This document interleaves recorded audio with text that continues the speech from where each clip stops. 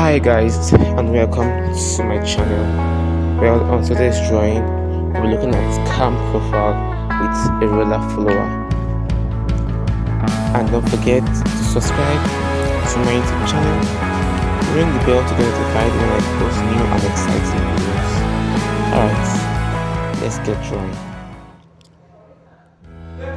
Draw the profile of a cam for a roller follower with the following particulars shaft diameter equals 25 mm roller diameter equals 12 mm lift equals 72 mm horizontal distance between roller center and cam center equals 80 mm vertical distance from the cam center equals 35 mm the first thing to know is that we're giving shaft diameter to between 25 mm that means in radius we'll have 12.5 millimeter radius 12.5 I switch to 1.25 I place and I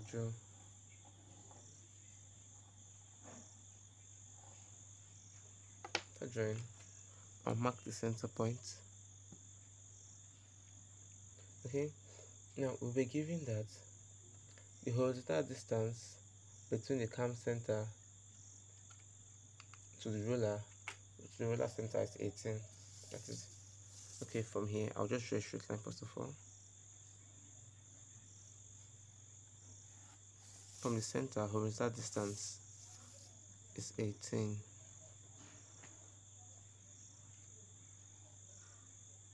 18 okay.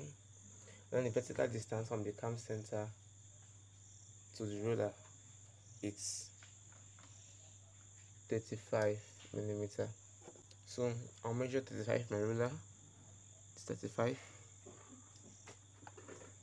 okay. Now place it here.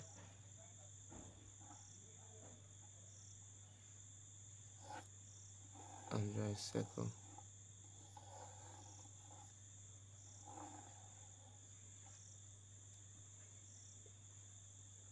Okay. All right so I'll pin at this point and to this part here where we have 18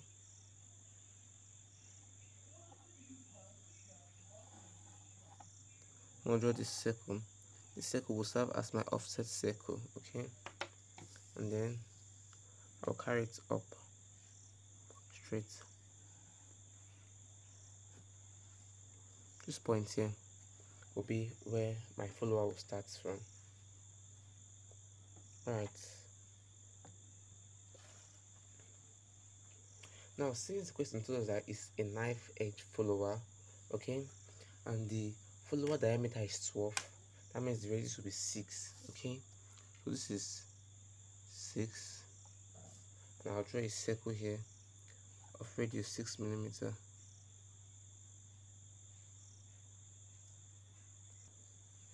Okay, from the question, we're also given that the lift is equal to 72 millimeter. That is from here. From this point I'm going to measure 72 millimeter straight.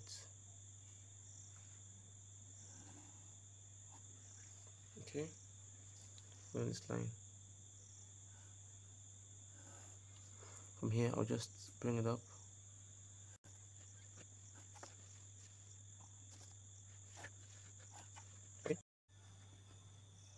okay so having done this i'm going to divide this my base circle into 12 equal parts.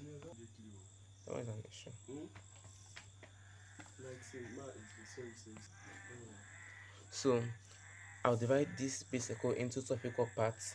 Now because this question didn't give us any motion or any degrees normally if we're given a degree we will join these, these two points.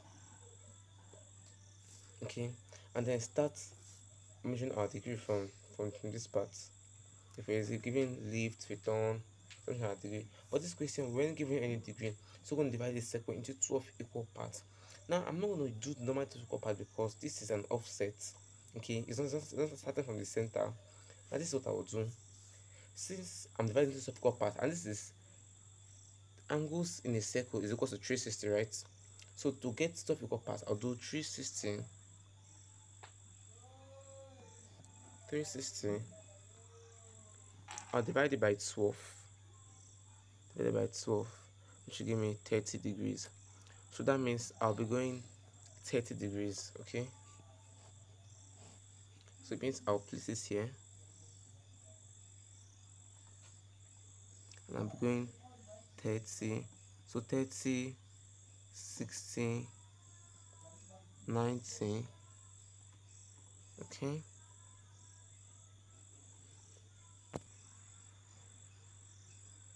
then 120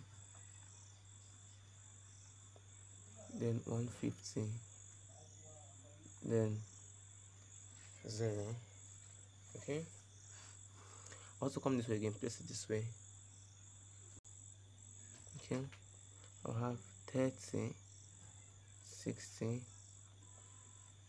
90 120 150 and then back here. All right now at this point in time i wouldn't join all these points to the center. This is what i would do. Please watch very closely. From here i'll bring to this part. Instead of joining it i will just stick this part here where it falls on the base circle. Again to this next one this next point point, it falls on the base circle. Just like that falls on the base circle this line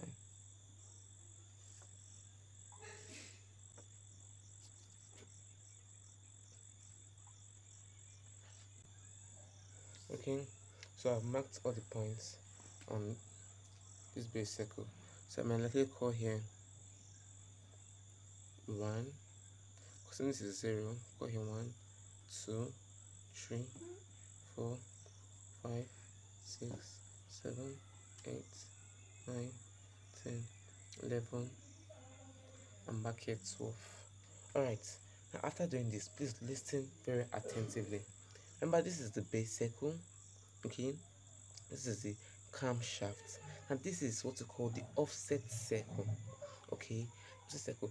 In some question okay so i've done this now this is my base circle base circle okay? This is my offset this is my camshaft now i'm going to tangent or i'm going to draw lines from all these divisions to tangent this offset at a point. Now tangent is a line that touches the circumference of a circle at one point. So from this point I'll, this is circle this is circle what I'm talking about this big one that we're referencing now. So I'll draw a line that will pass through that will touch the circle at one point so it will be like this. Now I can't draw this line like this because if I draw it it must to pass the circle then I can I can also draw it like this. So the only way I can draw it is to draw it this way and tangent the circle at one point. Next one. Okay it's tangenting it here. I'll just draw. Okay. And then keep drawing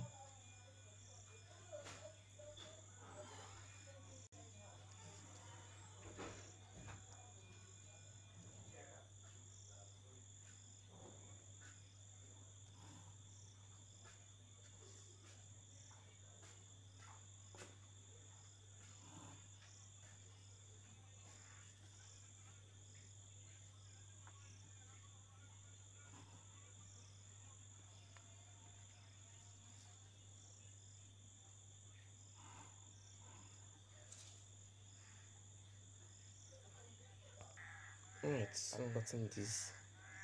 Okay, I'll divide this lift into six equal parts. So since the length of this line here is 72, okay, so to divide into six equal parts, I'll do 72 divided by 6, which gave me about 12, okay, 12. I'm doing 1.2, 1.2, 1.2. So this is 1.2.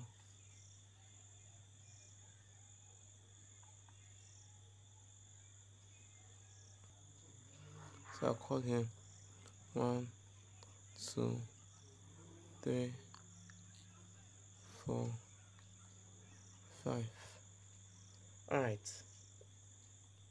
have it done this? Okay. So I will click or I'll quickly extend all these lines that I have. These tangent lines I'll quickly extend them outward. Okay them outward as long as possible but before we do the extendments we need to know where actually the, this line will stop. So I'll, look, look rough.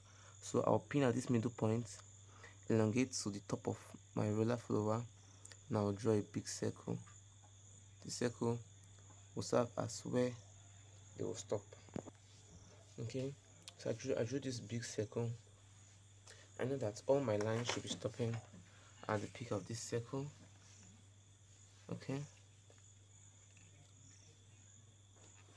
Elongate these lines. To circle circumference. Okay. After elongating the lines that is what I'll do. My compass I'll pin at the middle points okay? Pin the middle points from line 1 this to line 1 okay line 2 to line 2 line 3 to line 3 line 4 to line 4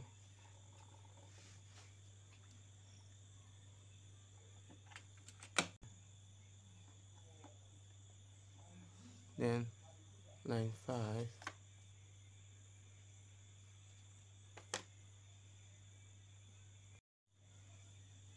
okay I did line 5 to line 5 then 6 lines to stop here. That's perfect circle. Now go again. This is 11 to 11 10 to 10 having done this. I'll then mark all these points. Okay? These points where one and one two and two three and three touches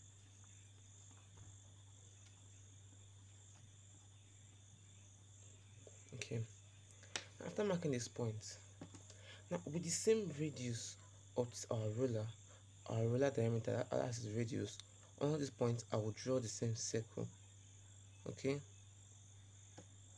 I will repeat this process for all the points i just marked.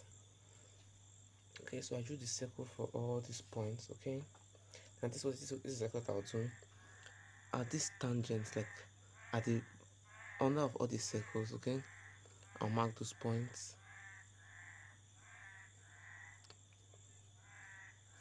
Okay? All these points now will serve as the motion for our cam now with a nice french curve I will join these parts. but because I don't have a French curve today I'll make use of my hand. But please for exam's sake or exam purposes please make use of a French curve a good French curve please so join